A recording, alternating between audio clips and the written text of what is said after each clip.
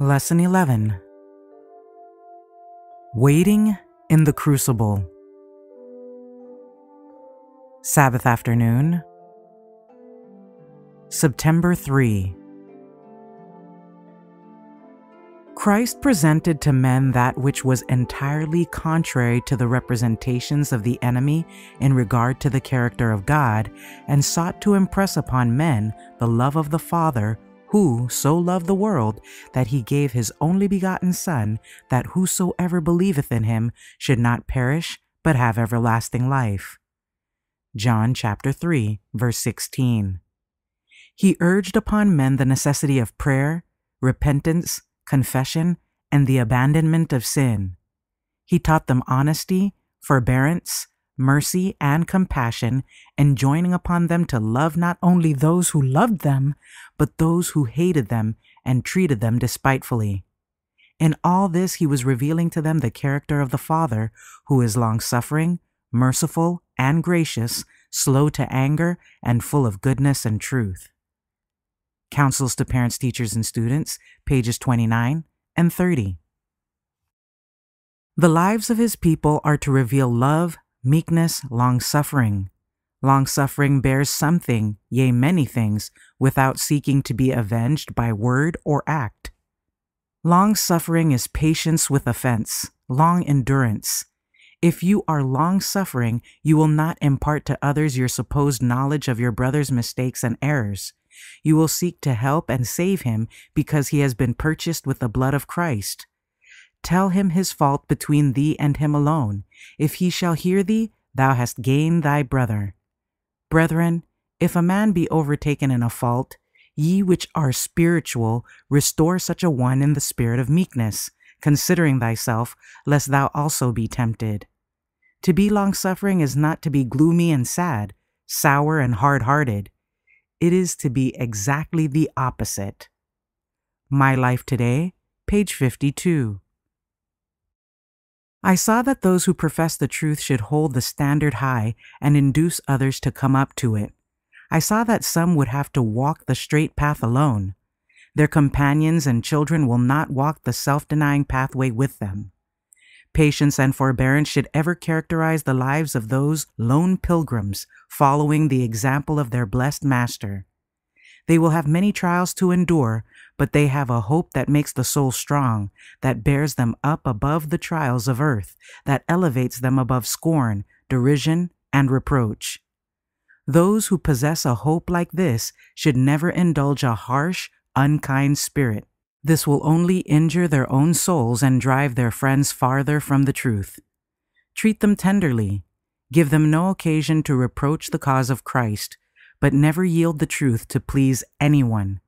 Be decided, be fixed, be established, be not of a doubtful mind. Spiritual Gifts, Volume 2, page 266.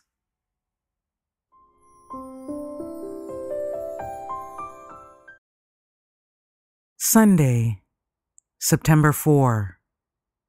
The God of Patience.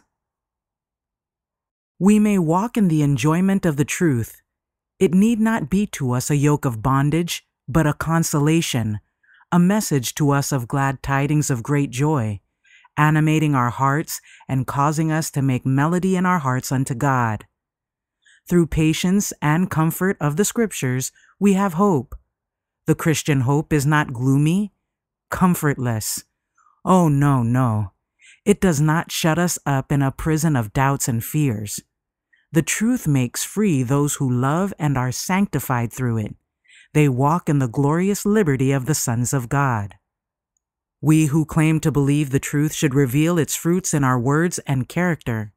We are to be far advanced in a knowledge of Jesus Christ in the reception of his love for God and for our neighbor, in order to have the sunlight of heaven shining in our daily life.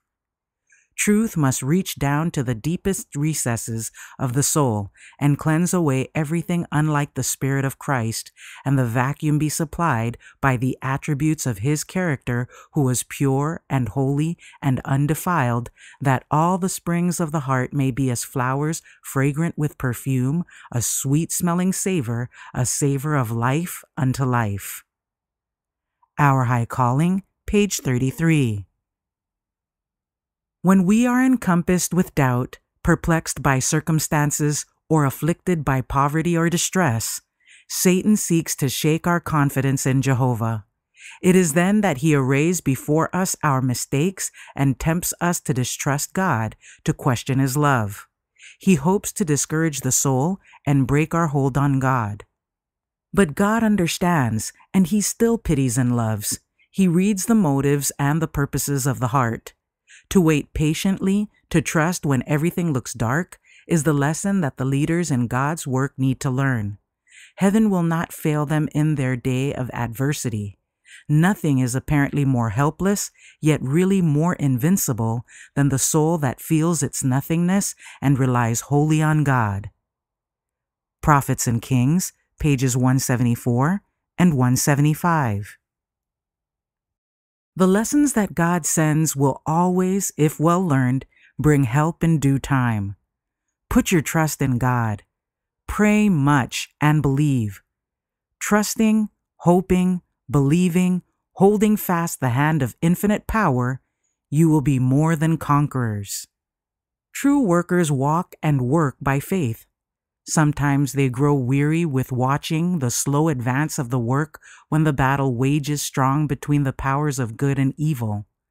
But if they refuse to fail or be discouraged, they will see the clouds breaking away and the promise of deliverance fulfilling. Through the mist, with which Satan has surrounded them, they will see the shining of the bright beams of the Sun of Righteousness. Work in faith and leave results with God. Pray in faith, and the mystery of His providence will bring its answer. At times it may seem that you cannot succeed, but work and believe, putting into your efforts faith, hope, and courage. After doing what you can, wait for the Lord declaring his faithfulness, and he will bring his word to pass. Wait, not in fretful anxiety, but in undaunted faith and unshaken trust. Testimonies for the Church, Volume 7, page 245.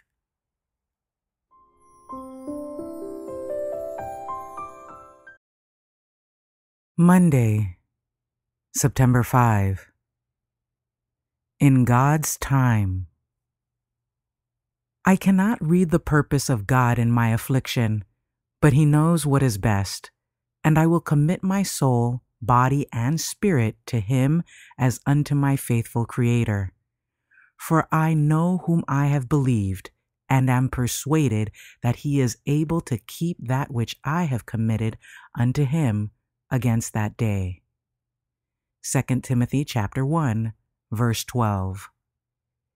If we educated and trained our souls to have more faith, more love, greater patience, and a more perfect trust in our Heavenly Father, I know we would have more peace and happiness day by day as we pass through the conflicts of this life.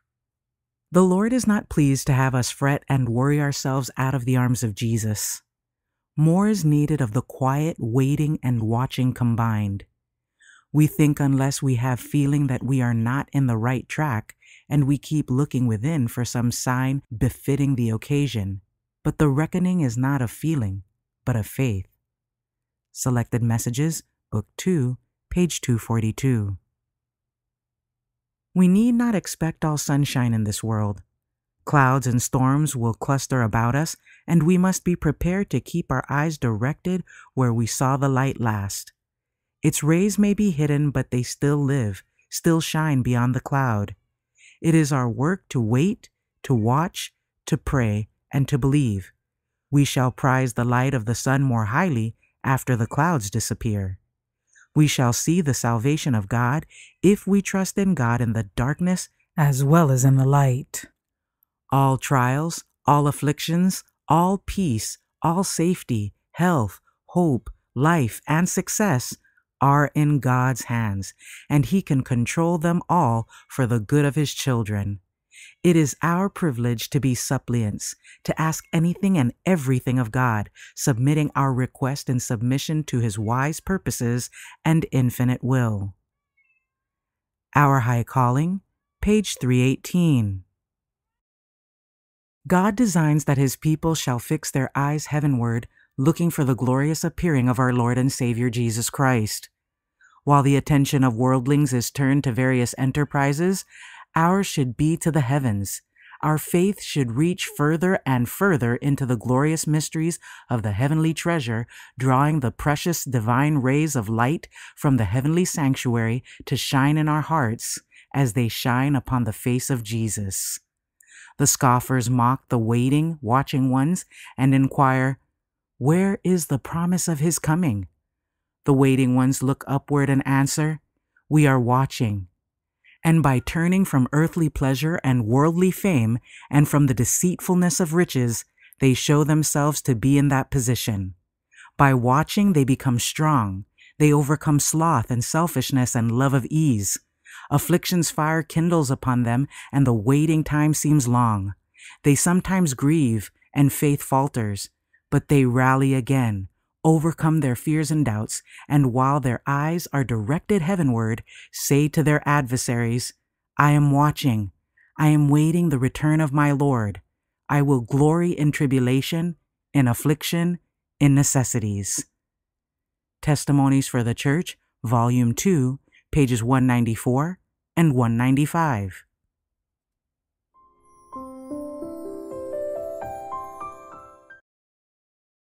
Tuesday, September 6. David, an object lesson in waiting. Hidden by the deep shadows of the hills, David and his attendant entered the encampment of the enemy. As they sought to ascertain the exact number of their foes, they came upon Saul sleeping, his spear stuck in the ground and a cruse of water at his head. Beside him lay Abner, his chief commander and all around them were the soldiers locked in slumber. Abishai raised his spear and said to David, God hath delivered thine enemy into thine hand this day. Now therefore let me smite him, I pray thee. He waited for the word of permission, but there fell upon his ear the whispered words, Destroy him not. For who can stretch forth his hand against the Lord's anointed and be guiltless? As the Lord liveth, the Lord shall smite him, or his day shall come to die, or he shall descend into battle and perish. The Lord forbid that I should stretch forth mine hand against the Lord's anointed. The second instance of David's respect for his sovereign's life made a still deeper impression upon the mind of Saul and brought from him a more humble acknowledgement of his fault. He was astonished and subdued at the manifestation of such kindness. In parting from David, Saul exclaimed, Blessed be thou, my son David, thou shalt both do great things, and also shalt still prevail. But the son of Jesse had no hope that the king would long continue in this frame of mind. Patriarchs and Prophets, pages 668 to 672. It is important to believe God's word and act upon it promptly while his angels are waiting to work for us evil angels are ready to contest every step of advance. And when God's providence bids his children go forward, when he is ready to do great things for them, Satan tempts them to displease the Lord by hesitation and delay. He seeks to kindle a spirit of strife or to arouse murmuring or unbelief and thus deprive them of the blessings that God desired to bestow.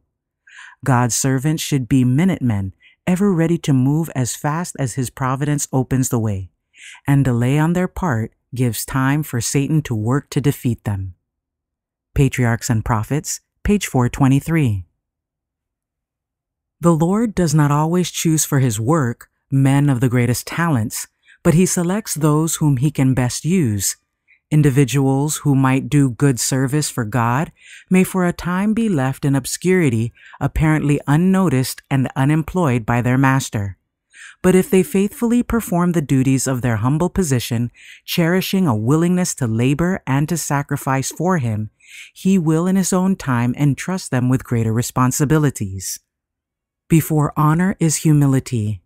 The Lord can use most effectually those who are most sensible of their own unworthiness and inefficiency. He will teach them to exercise the courage of faith.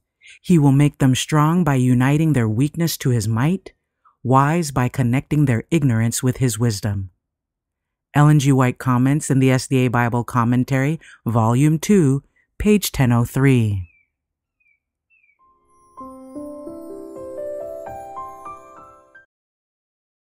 Wednesday, September 7. Elijah. The problem of rushing. God met his tried servant with the inquiry, What doest thou here, Elijah? I sent you to the brook Cherith and afterward to the widow of Sarepta. I commissioned you to return to Israel and to stand before the idolatrous priests on Carmel, and I girded you with strength to guide the chariot of the king to the gate of Jezreel. But who sent you on this hasty flight into the wilderness? What errand have you here? Much depends on the unceasing activity of those who are true and loyal. And for this reason, Satan puts forth every possible effort to thwart the divine purpose to be wrought out through the obedient. He causes some to lose sight of their high and holy mission and to become satisfied with the pleasures of this life. Others he causes to flee in discouragement from duty because of opposition or persecution. To every child of God whose voice the enemy of souls has succeeded in silencing, the question is addressed What doest thou here? I commissioned you to go into all the world and preach the gospel to prepare a people for the day of God. Why are you here? Conflict and Courage, page 214. Remember that prayer is the source of your strength. A worker cannot gain success while he hurries through his prayers and rushes away to look after something that he fears may be neglected or forgotten.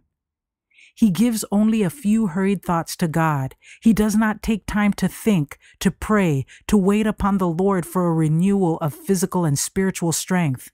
He soon becomes weary. He does not feel the uplifting, inspiring influence of God's Spirit. He is not quickened by fresh life. His jaded frame and tired brain are not soothed by personal contact with Christ. There are those who work all day and far into the night to do what seems to them must be done. The Lord looks pityingly upon these weary, heavy laden burden bearers and says to them, Come unto me, and I will give you rest. Matthew chapter 11 verse 28. Testimonies for the Church, volume 7, pages 243 and 244. When men are as devoted as Elijah was and possess the faith that he had, God will reveal himself as he did then. When men plead with the Lord as did Jacob, the results that were seen then will again be seen. Power will come from God in answer to the prayer of faith. Because the life of Jesus was a life of constant trust, sustained by continual communion, his service for heaven was without failure or faltering. Christ knew that he must strengthen his humanity by prayer. In order to be a blessing to men, he must commune with God, from him obtaining energy, perseverance, steadfastness. Gospel Workers, pages 255 and 256.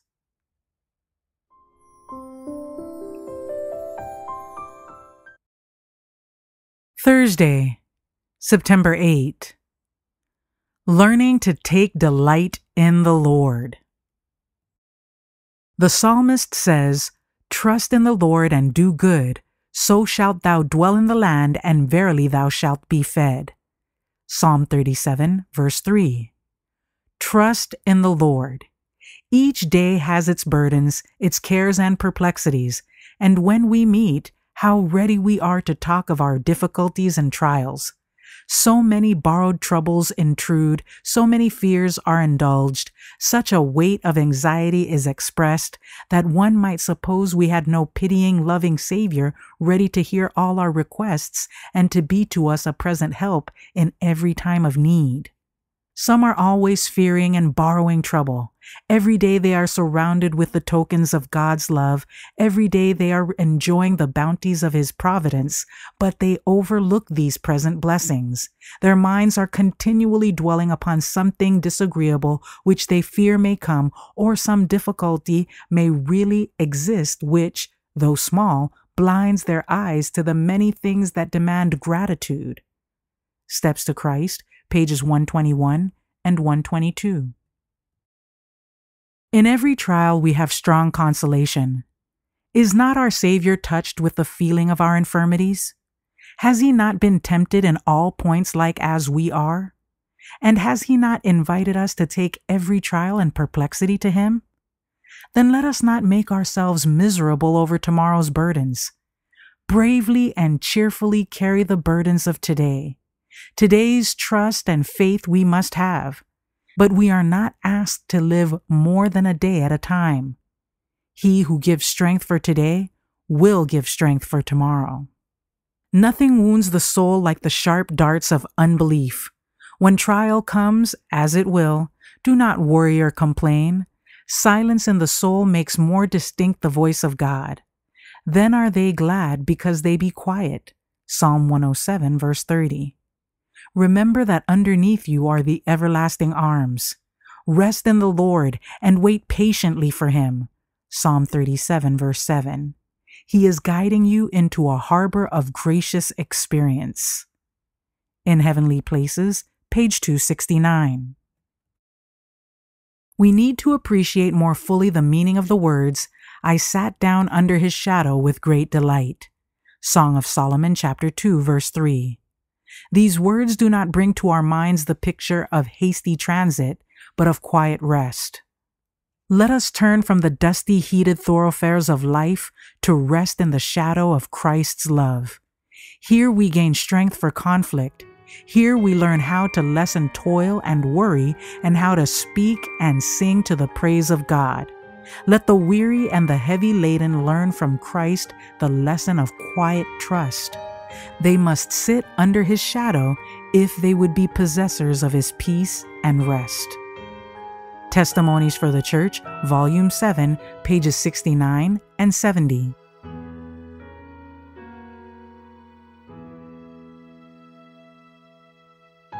For further reading, In Heavenly Places, Graces to Cherish, page 244, and Testimonies for the Church, Christian Forbearance, Volume 5, pages 331 to 336.